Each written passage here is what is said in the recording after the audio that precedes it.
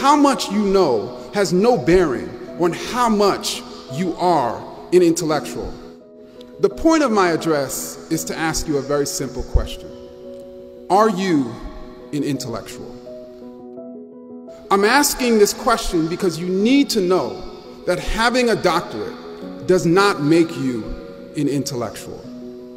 Becoming a professor does not make you an intellectual. Working in a research lab does not make you an intellectual. It is so embarrassing, but there are doctorates who are not intellectuals. Do not become that person. No doctorate degree is required to join the intellectual academy.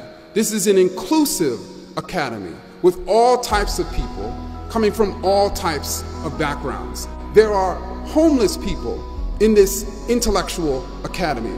There are poor people in this intellectual academy.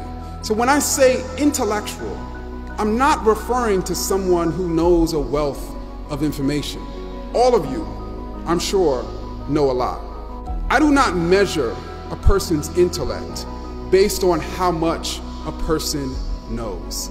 How much you know has no bearing on how much you are an intellectual. I define, and many others define, an intellectual as someone with a tremendous desire to know.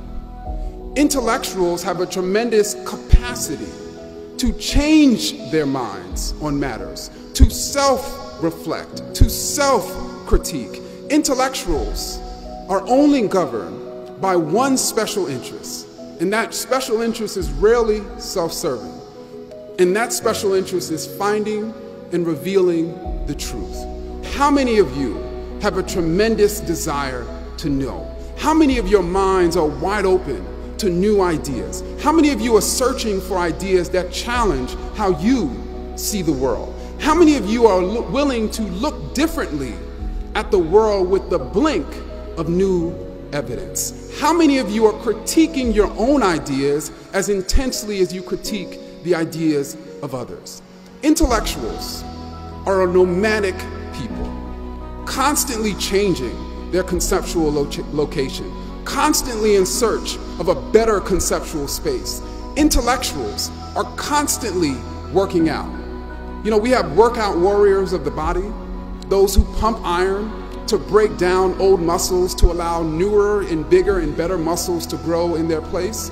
Well, intellectuals are workout warriors of the mind, regularly breaking down old ideas to allow new ideas and bigger ideas and better ideas to grow in their place.